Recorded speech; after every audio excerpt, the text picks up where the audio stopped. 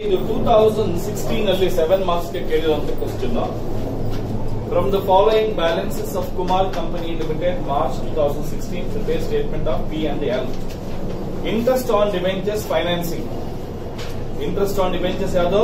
Financing travelling expenses is nothing but other expenses delivery van expenses other expenses bad debts other expenses discount other expenses purchases ನೋಡಿ purchase of stock ಅಂತ ಇದೆ ಅಲ್ವಾ ಅಲ್ಲಿ ಬರೆದು ಬಿಡೋಣ purchases three lakh fifteen thousand rupees next opening stock opening stock ನೋಡಿ changes in inventory ಕರೆಕ್ಟಾ changes in inventory opening stock ಎಷ್ಟಿದೆಯಪ್ಪ seventy five thousand minus closing stock ಕೊಟ್ಟಿದ್ದಾರ? ಕೊಟ್ಟಿಲ್ಲ. ನಿಲ್ ಅಂತ ಹಾಕೋಣ. ಅಲ್ಲಿಗೆ ಸೆವೆಂಟಿ ಫೈವ್ ತೌಸಂಡ್ ಬರ್ತಾ ಸರ್ ಅದನ್ನ ತೋರಿಸಿ ಸರ್. ಯಾಕೆ ಅಂತ ಹೇಳಿದ್ರೆ ಕೆಲವು ಸರಿ ಕ್ಲೋಸಿಂಗ್ ಸ್ಟಾಕ್ ವ್ಯಾಲ್ಯೂ ಇತ್ತು ಅಂತ ಇಟ್ಕೋ. ಆವಾಗ ಎಂಬತ್ ಸಾವಿರ ಇದ್ದಾಗ ನೆಗೆಟಿವ್ ಬರುತ್ತಲ್ವಾ?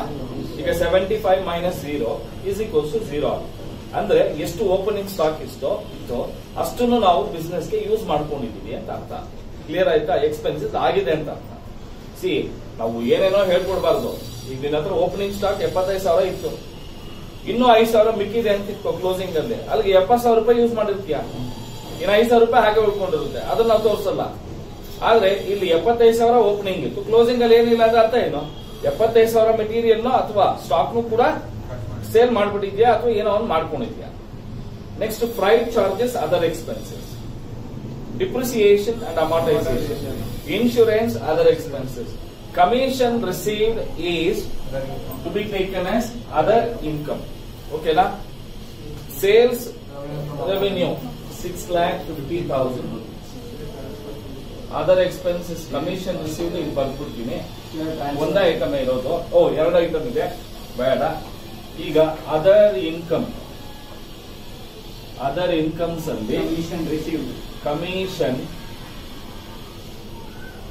ರಿಸೀವ್ ಮತ್ತೆ ಶೇರ್ ಟ್ರಾನ್ಸ್ಫರ್ ಫೀ ಇದು ಯಾವಾಗ್ಲೂ ಅಷ್ಟೇ ದಯವಿಟ್ಟು ಅರ್ಥ ಮಾಡ್ಕೊಳ್ಳಿ it is an income share transfer fee five thousand rupees sir ಏನ್ ಸರ್ ಇದು ಶೇರ್ ಟ್ರಾನ್ಸ್ಫರ್ ಫೀ ಅಂದ್ರೆ? ಈಗ ನಮ್ಮ ಕಂಪನಿ ಶೇರ್ ಹೋಲ್ಡರ್ಸ್ ಇರ್ತಾರೆ. ಅದರಲ್ಲಿ ಯಾವನೊಬ್ಬ ಒಂದು ಹತ್ತು ಸಾವಿರ ಶೇರ್ಸ್ ತಗೊಂಡಿದ್ದ. ನಾವು ಅವನಿಗೆ, ಅವನ ಹೆಸರಲ್ಲಿ ಒಂದು ಶೇರ್ ವಾರೆಂಟ್ ಅನ್ನ ಸರ್ಟಿಫಿಕೇಟ್ ಅನ್ನು ಇಶ್ಯೂ ಮಾಡಿದ್ವಿ. ಓಕೆನಾ? ಅವನೇನ್ ಮಾಡಿದ ಗೊತ್ತಾ? ಬೇರೆಯವ್ರಿಗೆ ಯಾರಿಗೂ ಮಾರ್ಬಿಟ್ಟ. ಓಕೆನಾ? ಈಗ ಮಾರ್ಬೇಕಾದ್ರೆ ಅವನ ಹೆಸರು ಇದೆ. ನಾವು ಶೇರ್ಸ್ ಇಶ್ಯೂ ಮಾಡಿರೋದು ಟೆನ್ ತೌಸಂಡ್ ಶೇರ್ಸ್ ಅವನ ಹೆಸರಿಗೆ ಕರೆಕ್ಟಾ ಈಗ ಅವನು ಬೇರೆಯವ್ರಿಗೆ ಹೆಸರು ಮಾರಿದಾಗ ಏನ್ ಮಾಡ್ತಾನೆ? ಬೇರೆಯವ್ನು ಬಂದು, ಸರ್, ಅವನ ಹೆಸರು ಇದೆ, ನನ್ನ ಹೆಸರು ಚೇಂಜ್ ಮಾಡ್ಕೊಡಿ, ಸರ್. ಟ್ರಾನ್ಸ್ಫರ್ ಮಾಡ್ಕೊಡಿ, ಸರ್, ಅಂತ ಹೇಳ್ತಾವ ಆವಾಗ ನಾವು ಅದನ್ನ ಶೇರ್ ಟ್ರಾನ್ಸ್ಫರ್ ಫೀ ಅಂತ ಹೇಳಿ ಒಂದಷ್ಟು ದುಡ್ಡನ್ನ ಫೀಸ್ ಅನ್ನ ಪಡೀತೀವಿ. ಅದು ಅದರ್ ಇನ್ಕಮ್ ಆಗುತ್ತೆ. ಅರ್ಥ ಆಯ್ತು ಎಲ್ಲರಿಗೂ ಅಲ್ಲಿಗೆ ಮುಕ್ತಾಯ ಆಯ್ತು. ಪ್ರಾಬ್ಲಮ್ ಕರೆಕ್ಟಾ ಈಗ ಫಸ್ಟ್ ಎಂಪ್ಲಾಯಿ ಬೆನಿಫಿಟ್ ಏನು ಇಲ್ಲ. ಕರೆಕ್ಟಾ ನೋಟ್ ನಂಬರ್ ಟ್ವೆಲ್ ತಗೋಣ. ಟ್ವೆಲ್ವ್ ಅಲ್ಲಿ ಫೈನಾನ್ಸಿಂಗ್ ಕಾಸ್ಟ್ ಇದೆ. ಕರೆಕ್ಟಾ ಎಷ್ಟಿದೆಯಪ್ಪ ಅಂದ್ರೆ interest on debentures interest on debentures ಮಧ್ಯದಲ್ಲಿ ಮಾತಾಡ್ತಾ ಇದ್ದೀರಾ? Next note number thirteen DP and amortisation ಎಷ್ಟಿದೆಯಪ್ಪ depreciation twenty five twenty thousand five thousand note number fourteen other expenses travelling expenses ಅದರಲ್ಲಿ ಟ್ರಾವೆಲಿಂಗ್ ಎಕ್ಸ್ಪೆನ್ಸಸ್ ಟ್ರಾವೆಲಿಂಗ್ ಹದಿನೈದು ಸಾವಿರ expenses delivery van expenses delivery expenses bad debt bank debt six thousand discount seven thousand depreciation twenty five thousand depreciation ಎಲ್ಲ ಆಗ್ತಿಲ್ವಾ? Flight charges ಹಾಕ್ತೀವಿ Flight charges eight thousand Insurance. Insurance five thousand ಅಷ್ಟೇ. ಮೂರು ಇಪ್ಪತ್ತು ಇಪ್ಪತ್ತಾರು ಮೂವತ್ತಾರು ನಲವತ್ತು Thirty-eight. ಓಕೆನಾ ಈಗ ಅದರ್ ಇನ್ಕಮ್ ಬಂದು ಟ್ವೆಲ್ ತೌಸಂಡ್ ಫೈವ್ ಹಂಡ್ರೆಡ್ ಅದಕ್ಕೆ six lakh sixty two thousand five hundred cost of material consume ಏನೂ ಇಲ್ಲ ಚೇಂಜಸ್ ಇನ್ ಇನ್ವೆಂಟ್ರಿ ಆಯಿತು. ವರ್ಕ್ ಇನ್ ಪ್ರೋಗ್ರೆಸ್ ಇಲ್ಲ. ಎಂಪ್ಲಾಯಿ ಬೆನಿಫಿಟ್ ಇಲ್ಲ.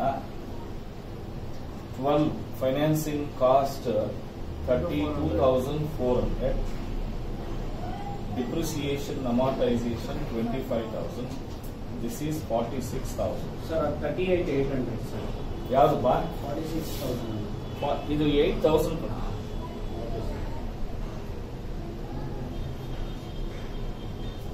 forty six correct ಆಗಿದೆ. ಹ್ಮ್? ಹನ್ನೊಂದು ಹದಿಮೂರು ಇಪ್ಪತ್ಮೂರು ಆರು ಎಂಟು ಹನ್ನೊಂದು ಹದಿನೆಂಟು ಹತ್ತೊಂಬತ್ತು ನಾಲ್ಕು. ಈಗ ಒಂಬತ್ತು ಹದಿನೈದರಲ್ಲಿ ಒಂಬತ್ತು ಹೋದ್ರೆ ಎಷ್ಟು? ಆರು. ಐದರಲ್ಲಿ ನಾಲ್ಕು ಹೋದ್ರೆ? ಟ್ಯಾಕ್ಸ್ ಏನೂ ಇಲ್ಲ. ಸೊ ಪ್ಯಾಕ್ ಬಂದು one lakh sixty nine thousand one hundred ನೋಡಿ ಈ ತರ ಸಿಕ್ಸ್ ಮಾರ್ಕ್ಸ್ ಪ್ರೊಸೀಜರ್ ಬರುತ್ತೆ. Seven marks